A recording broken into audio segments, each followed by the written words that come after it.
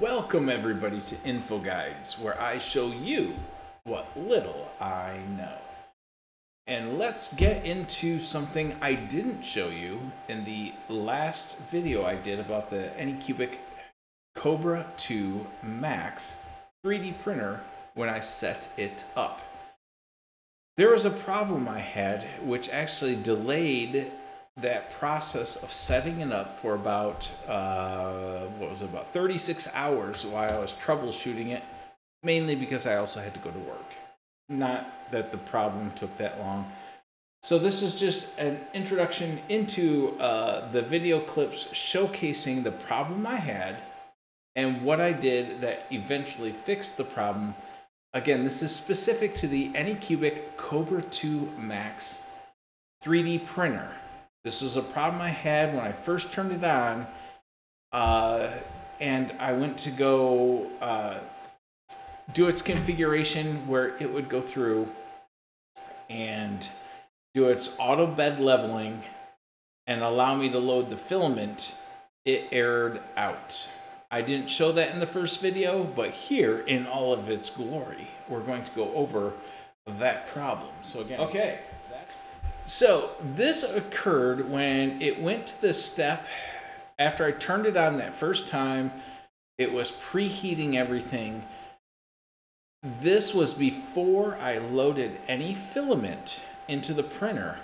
It came up on the screen when it was trying to do the auto bed leveling with this wonderful error message. The module is abnormal. Please calibrate the position of the nozzle and module. Now, when you click confirm, it wouldn't walk me through and tell me anything about what I needed to do.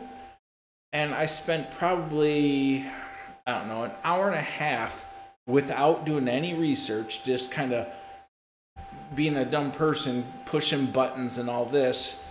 Uh, probably spent about an hour and a half that evening before I threw in the white towel and just went to bed. I was tired. Uh, the next day, I watched some YouTube videos and looked up some research for things to try when I got home.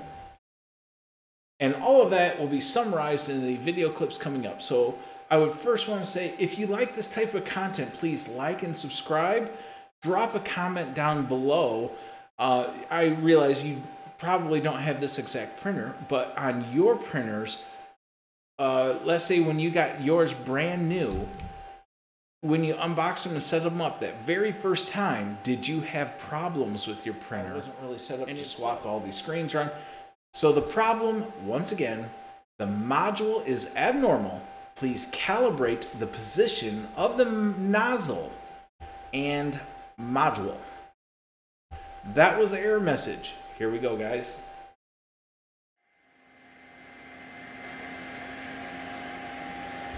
Okay, so in this step on this thing, I've been having this issue where it will come up and say sensor abnormal. Uh, I haven't done anything yet. All I did was basically a factory reset. And now I'm just waiting for it to go through this process again. See what it says. I did look up on the internet some, what do you want to call it?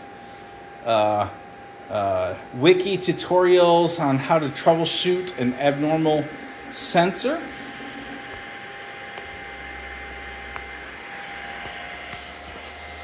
So it's right after this step here where it's cleaning the nozzle. I, I assume that's what it's doing. Let's see if I can zoom in here. It's right after this step. We'll see what we get. Hold for a dramatic long pause.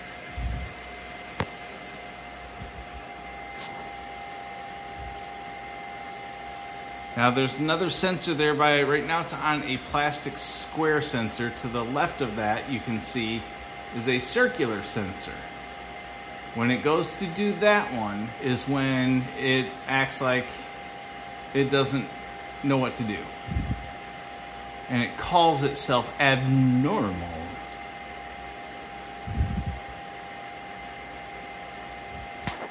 I don't remember this pause taking this long. So it'll still not work, but hang in there.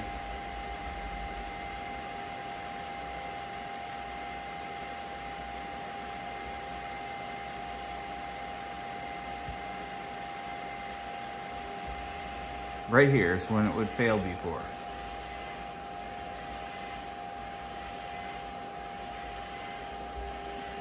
And that's what it did.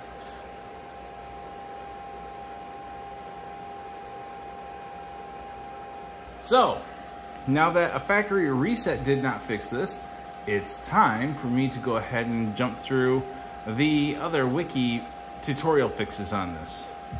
And I'll try it, hopefully, once I get it working, I'll be able to uh, provide you wonderful audience with a uh, how to fix this error video. Okay, this is attempt number two at recording a It's Working video. The first one, I didn't hit the record button, but walked through the whole thing, so I'll be better this time around. Okay, guys, so here you can see it actually finished what it couldn't finish before. And so I'll just kind of quickly go over what steps I did. Now on here, I actually did a factory reset. So I went in here, I went down through here, went to more settings, and I did a system restore. That didn't fix the problem.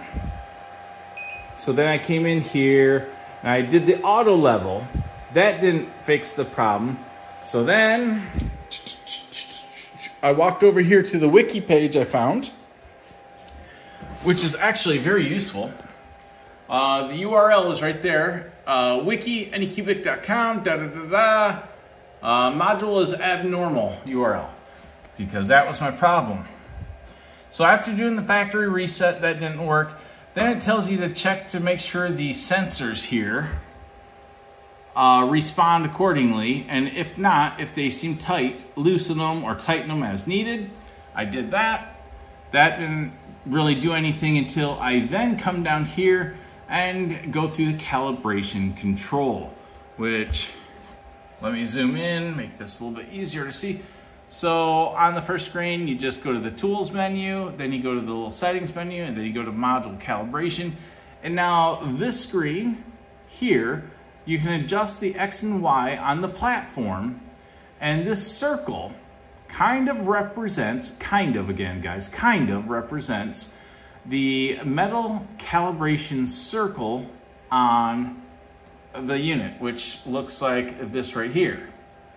So you center it, then you click on save, and then you click on position calibration and hope it works. In my case, that worked. But I also did a couple other things that I'm going to go through here. And that is, uh, does it show on the screen? Uh, no. Down below it does. And basically the next step is to check the wiring condition, uh, wire connections. I did check some of these, but I did not pull it all apart. So let me show you what ones I did check.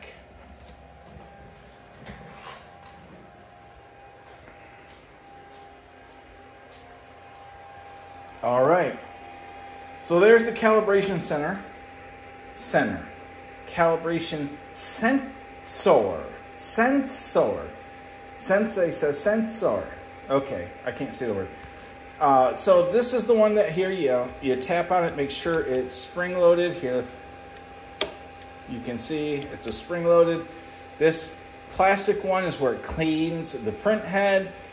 And so I adjusted that with the set screws and all that like it suggests.